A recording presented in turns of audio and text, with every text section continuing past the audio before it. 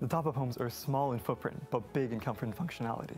By placing the bathroom in the center of the unit, daylight can illuminate both ends of the space. This also creates a separation between the common kitchen, dining, and living area, which is closest to the gallery side, which is more public, from the private bedrooms towards the southern courtyard. The living area receives nice northern light, which is ideal for a living space. However, the private bedroom can also be converted into a living area or home office by just folding up the bed. Flexible furniture provides a smarter use of the space. This allows the units to have a flexible layout that can be optimized to the orientation of the existing building and to the user's needs. Two modules can also be combined into a two-bedroom unit, which is great for small families or shared living.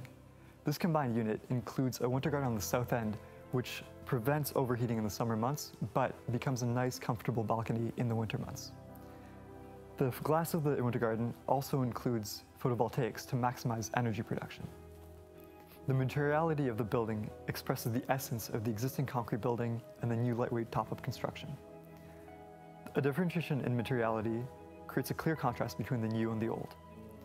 The existing building expresses a grounded character and its role as a supporter through a heavier appearance, while the top-up edition has a lightweight character and articulates its role as an energy producer.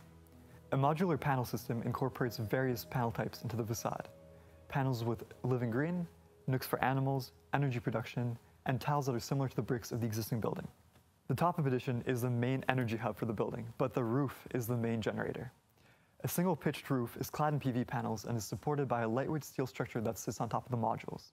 This separate structure allows for more modules to be added in at a later stage. The large area of the roof is also used to collect rainwater, which runs down the rain on the gallery side and irrigates the surrounding plants. Rainwater is also collected and stored down below.